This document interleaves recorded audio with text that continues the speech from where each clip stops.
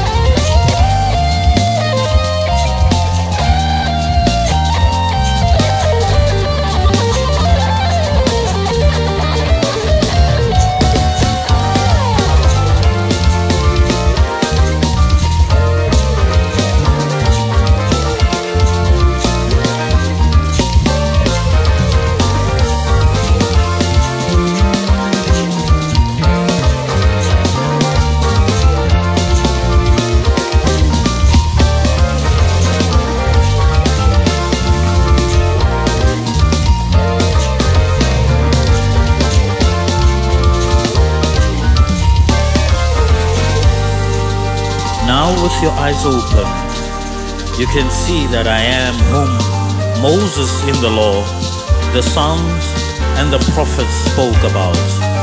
Now you should know that Christ had to suffer that he may enter into his glory.